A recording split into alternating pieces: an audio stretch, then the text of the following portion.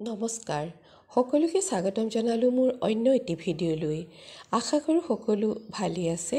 সকলো ভালে থকাটোকেই কামনা কৰিছোঁ। আজি পুনৰ এটি নতুন ভিডিঅ'লৈ আপোনালোকৰ কাষলৈ আহিছোঁ।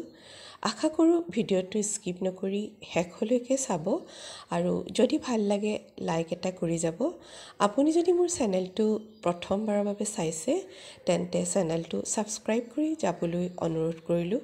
আহকচোন তেন্তে আজিৰ ভিডিঅ'টোৰ মাজলৈ সোমাই যাওঁ। মই প্ৰতিদিনেই মোৰ ফুলনিখনৰ কাৰণে কিবা নহয় কিবা এটা কৰোঁ। এয়া চাওক মই এয়া কাটিং লগাই দিছোঁ। এয়া মানি প্লাণ্টৰ কাটিং লগাই দিলোঁ। তাৰোপৰি আকৌ ইয়াত এটা নাৰিকলৰ খোলা এটা পাইছিলোঁ। সেই খোলাটোতে আকৌ এয়া ৱাণ্ডাৰিং জিঅ'কে এজোপা লগাই দিছোঁ। মুঠতে যি পাওঁ চবতে কিবা গুজি থৈ দিওঁ আৰু এটাও কিবা কাটিং পেলাই দিবলৈ মন নাযায় মোৰ। সেইকাৰণে এনেকৈ য'তে ত'তে মই থৈ দিওঁ। এয়া চাওক এটা সৰু বটলতে এয়া কলিয়াছৰ কাটিংকেইটা থৈছোঁ।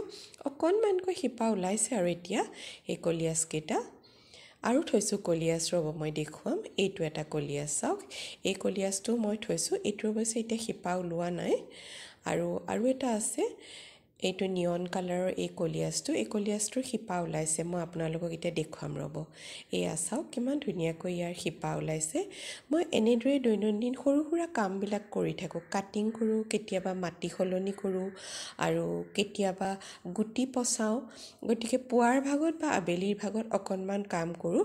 মোৰ নিচিনাকৈ নিশ্চয় নিশ্চয় প্ৰত্যেকজন ফুল ভাল পোৱা মানুহেই এনেদৰে নিজৰ কামখিনি কৰে আৰু এইখিনি কাম কৰি কিবা এটা আনন্দও পোৱা যায়।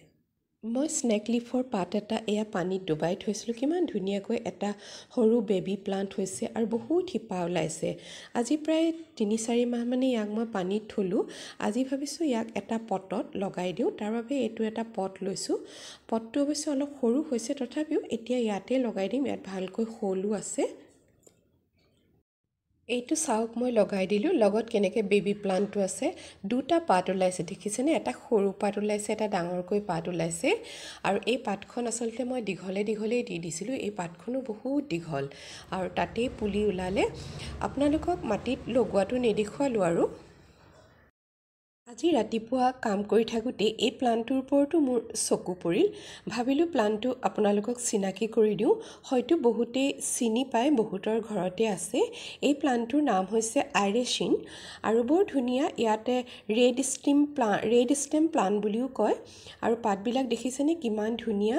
সৰু এটা কাটিঙৰ পৰাই আপুনি লগাব পাৰিব। এইডাল মোৰ বহুত দীঘল হৈছে মই ইয়াতে ভাঙি ইয়াক নতুনকৈ আৰু লগাব পাৰিম। আৰু আপোনালোকে ইয়াক ধুনীয়াকৈ কৰি জোপোহাও কৰি ৰাখিব পাৰিব। পাতখনেই ইয়াৰ বৰ ধুনীয়া। ইয়াৰ বহুত ভেৰাইটি আছে। মোৰ লগত গোটেইবিলাক নাই। এইটোৱে আছে। এইটো এতিয়া মই ভালকৈ যতন কৰি ইয়াক লগাব লাগিব। চাওকচোন দেখিবলৈ কিমান ধুনীয়া। অযত্নতে সি এনেদৰে আছে। আৰু আজি চকুত পৰিলে সেইকাৰণে আপোনালোককো এই প্লাণ্টটোৰ বিষয়ে জনালোঁ। ই ৰ'দ ভাল পায় আৰু অলপ সেমেকা মাটি ইয়াৰ কাৰণে ভাল এই প্লাণ্টটোৰ কাৰণে।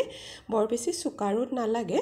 অলপ মানে আবেলি বা ৰাতিপুৱাৰ ৰ'দটোৱেই ইয়াৰ কাৰণে যথেষ্ট। আৰু মাটি প্ৰস্তুত কৰাটো আপুনি ধৰক ৱেল ড্ৰেইন চইল য'ত আপুনি গোবৰ সাৰ আৰু অলপ বালি মিহলি কৰিয়ে এই প্লাণ্টটো আপুনি ধুনীয়াকৈ লগাব পাৰিব। দেখিবলৈ বৰ ধুনীয়া লাগে। এয়া চাওক ভেৰিগেটেড লিভছ আৰু একদম বাটাৰফ্লাই নিচিনা ইয়াৰ পাতটো চাবলৈ। ই এটা বহুবৰ্ষী উদ্ভিদ আৰু আপুনি ইনডোৰ প্লাণ্ট হিচাপেও ইয়াক ৰাখিব পাৰিব আৰু বিশেষকৈ পটত লগাবলৈহে এই আৰিচিনটো ভাল।